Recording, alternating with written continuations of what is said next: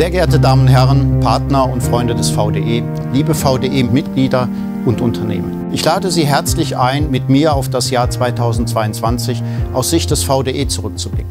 Wir hatten auch in diesem Jahr wieder eine große Auswahl an Themen, Veranstaltungen und natürlich interessanten Inhalten. Somit, wie immer, können die hier ausgewählten Themen und Highlights wirklich nur in Teilen das Jahr widerspiegeln.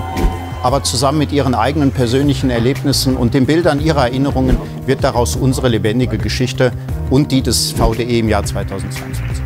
Mit unserer gemeinsamen Mission, eine lebenswerte und nachhaltige Zukunft zu gestalten. Gerade der persönliche Austausch hat eine ganz besondere Qualität, Innovationen und Ideen voranzutreiben.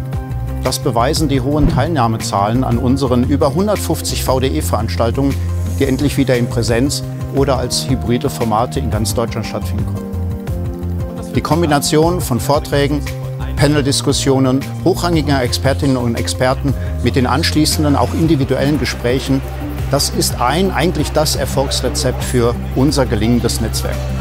Ich habe mich sehr gefreut, dass ich auch persönlich an vielen Veranstaltungen aus den VDE-Regionen oder auch natürlich der Fachgesellschaften mitwirken durfte und mich mit ihnen habe austauschen können. Hier alle zu nennen, würde leider diesen Rahmen sprengen, kann ich mich auch nicht immer daran erinnern. Äh, aber wir vom VDE haben beispielsweise auf der Hannover Messe unsere Botschaft äh, zu einer beschleunigten Energiewende persönlich an Wirtschaftsminister Habeck adressiert und diese auch in der hybriden Pressekonferenz zur Versorgungssicherheit auch mit internationaler Beteiligung des MIT in Boston formuliert. Eine zentrale Rolle der Energiewende spielt auch weiterhin der schnelle Markthochlauf für grünen Wasserstoff. Mit dem Format des VDE Hydrogen Financial Dialogue zusammen mit der Messe Nürnberg war der VDE auch in diesem Jahr wieder Brückenbauer, denn Investoren und Projektentwickler gerade in der Wasserstoffwirtschaft brauchen verlässliche Qualität und Standards. Wie wichtig eine schnelle Energiewende ist, hat neben der Klimaerwärmung leider auch der am 24. Februar gestartete Angriffskrieg Russlands auf die Ukraine gezeigt. Tod und Leid unzähliger Menschen und die brutale Zerstörung von Häusern und der Infrastruktur sind unmittelbare Auswirkungen des Krieges. Auch unsere Energieversorgung ist in der noch bestehenden Abhängigkeit von fossilen Brennstoffen gefährdet. Nicht zuletzt durch drastisch gestiegene Preise ist der Krieg damit quasi in jedem deutschen Haushalt angekommen. Damit gilt jetzt noch deutlicher als zuvor, wofür wir im VDE uns seit langem einsetzen. Eine beschleunigte Energiewende ist das A und O für eine günstige, unabhängige und sichere Energieversorgung. Und Resilienz wird damit einen ganz anderen Stellenwert als noch in der Vergangenheit erhalten.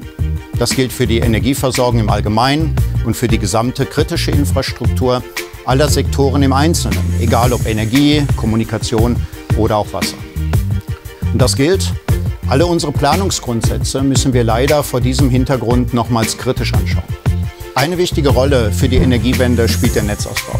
Auf der Netzcon und mit der Roadmap zum Klimaschutznetz bis 2030 zeigt der VDE konkrete Lösungswege zum beschleunigten Um- und Ausbau der Stromnetze. Das betrifft auch die Mobilität. Wir brauchen den schnellen Ausbau der Wasserstoff- und Ladeinfrastruktur, insbesondere für Nutz- und Schienenfahrzeuge, und haben auf der VDE E-Mobility Conference in Frankfurt die Herausforderungen des batterieelektrischen Antriebs intensiv diskutiert. Zur Beschleunigung der Energiewende hat der VDE in diesem Jahr zudem weitere strategische Partnerschaften aufgebaut. Beispielsweise mit Munich Re im Bereich PV, Photovoltaik, mit EU-Fördergeldern im Innovationsnetzwerk namens SMASH für die dezentralen Energieanwendungen in Schleswig-Holstein oder als neues Mitglied bei der Non-Profit-Organisation Hydrogen Europe. Auch Normen und Standards helfen, den Klimawandel zu bekämpfen. Auf dem VDE DKE Innovation Campus zeigte sich der VDE gemeinsam mit dem DIN als Wegbereiter der All Electric Society mit Energie ausschließlich aus regenerativen Quellen. Digitale Prozesse und Effizienzsteigerungen erfordern zudem maschinenlesbare Normen. Auch hier ist eine internationale Zusammenarbeit elementar. Und Internationalität gilt natürlich auch für den Bereich der künstlichen Intelligenz. Wir im VDE haben beispielsweise mit KitKar die Grundlage für eine europäische Standardisierung von KI-Tests und Trainingsdaten geschaffen. Wir entwickeln ein AI Trust Label, unter anderem mit einer deutsch-französischen Allianz. Auf dem AI Quality Summit in Frankfurt haben wir mit internationalen Partnern die Herausforderungen an eine sichere und verlässliche KI und ihre Daten ausgearbeitet. Hierzu werden wir in den nächsten Monaten sicherlich noch viele weitere Errungenschaften sehen. Nicht nur nach den Ergebnissen der VDE Arbeitsmarktstudie beschäftigt uns im VDE ein Thema besonders. Wir brauchen für all diese Herausforderungen und natürlich tolle Themen junge Menschen und langfristig gut ausgebildete Fachkräfte. Deshalb haben wir auch in diesem Jahr wieder unseren Mikrochip-Wettbewerb Invented Chip durchgeführt. Die Siegerinnen und Sieger haben wir im Rahmen des Microelectronics for Future Summit im Futorium in Berlin geehrt. Persönlich habe ich mich sehr gefreut, die unglaublich engagierten und auch fachlich unglaublich überzeugenden Schülerinnen und Schüler kennengelernt zu haben. Dieser Nachwuchs dort bereitet mir überhaupt keine Sorgen. Allerdings schon die Zahl der MINT-Interessierten in unserer Gesellschaft. Da laufen wir in der Zukunft in ein echtes quantitatives Nachwuchsproblem hinein. Natürlich hatten wir auch 2022 den Tag mit der Maus im VDE Prüf- und Zertifizierungsinstitut und viele regionale Angebote für Kinder und Jugendliche. Wir freuen uns, dass so viele Studierende an unseren Veranstaltungen teilgenommen haben. Zudem haben wir wieder unzählige Preise an den engagierten Nachwuchs vergeben, beispielsweise die Bayern Awards für Nachwuchswissenschaftler, Start-ups und auch MINT-engagierte Schulen. Oder auf dem ITG Hauptstadtforum diverse Preise für den Nachwuchs und für besonderes Engagement im VDI. Der Wettbewerb um die besten Köpfe treibt auch Dr. Martin Hieber um. Er ist seit dem 1. Oktober unser neuer CTO, also unser Chief Technology Officer. Mit seiner tiefen wie sehr breiten technischen Expertise und seiner großen Erfahrung verstärkt er den bisherigen zweiköpfigen Vorstand des VDE. Wir in der VDE-Gruppe vereinen weltweit über 100.000 ehrenamtliche Expertinnen und Experten. Wir sind der neutrale Berater für Politik. Wir sind Sprachrohr und Ratgeber für unsere 30.000 Mitglieder und Unternehmen.